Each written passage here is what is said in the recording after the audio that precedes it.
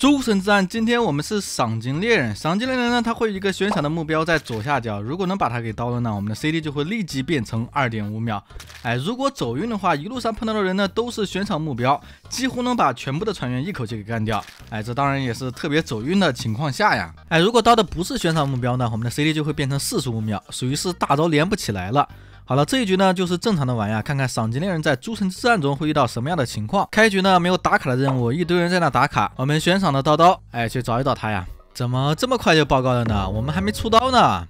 哎。我们内鬼怎么只有俩了？空白是被招募了是吧？莫德说警长暴毙，他们钓鱼钓上来一个警长。好家伙，本来就有警长呀，他们还多此一举去钓鱼，把警长给坑了啊！其实呢，钓鱼是原版的玩法呀，专门坑一些新手的。诸神之战呢就不要搞了，容易出小丑。再有就是警长在盯着呢。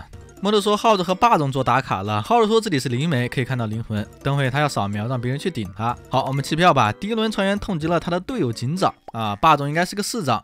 一个市长，一个灵媒，两个人把警长给坑了，这不是利好豺狼、内鬼和中立吗？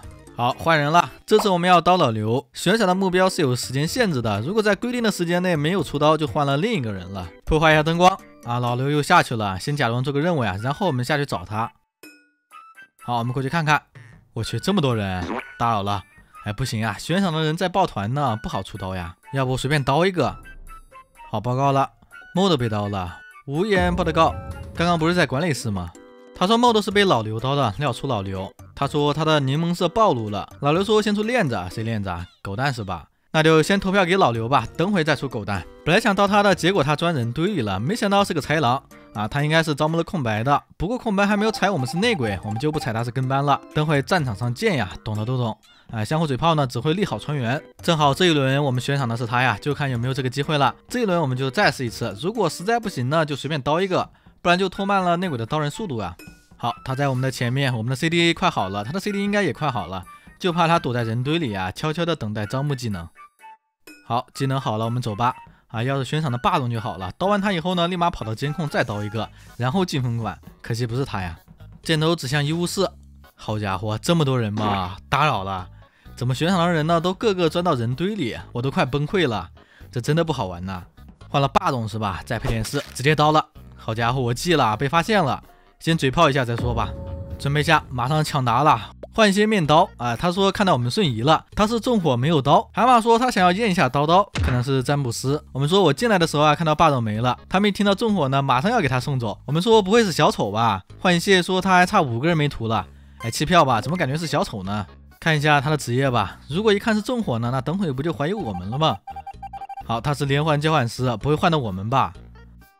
啊！吓我一跳呀！我们没有被换，占卜师占卜了某人的身份，我觉得不太可能是我吧？箭头指向的是海马，他刚刚不是说要占卜刀刀吗？